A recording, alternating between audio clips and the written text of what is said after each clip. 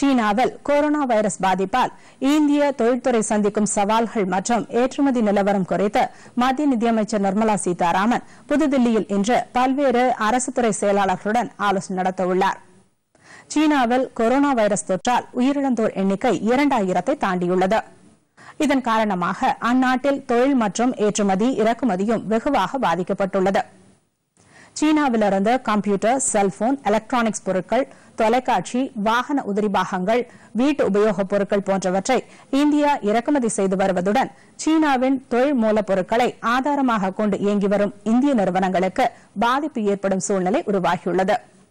அதே நேரத்தில் சீனா ஏற்றுமதி வாய்ப்பை இழந்துள்ளதால் அந்த இடத்திற்கு இந்திய நிறுவனங்கள் தயாரிக்கும் பொருட்களை அனுப்பி வைக்கும் சந்தை வாய்ப்பும் ஏற்பட்டுள்ளது.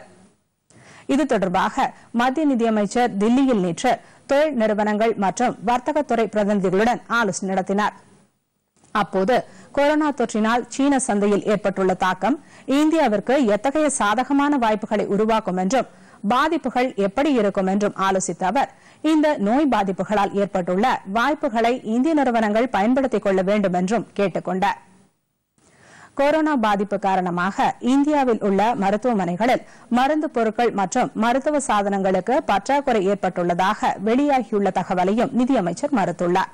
இந்நிலையில் அரசு துறை செயலாளர்களுடன் நடைபெறும் ஆலோசனைக்கு பிறகு பிரதமர் அலுவலகத்தையும் கலந்தாலோசித்து இந்தியா மேற்கொள்ளும் நடவடிக்கைகள் குறித்த அறிவிப்பு வெளியிடப்படும் என எதிர்பார்க்கப்படுகிறது. பொதிகை செய்திகளை யூ டியூபில் தமிழ் நியூஸ் தூர்தர்ஷன் என்ற சேனலிலும் ட்விட்டரில் Tamil news Doordarshan at DD news Chennai என்ற பக்கத்திலும் காணலாம்.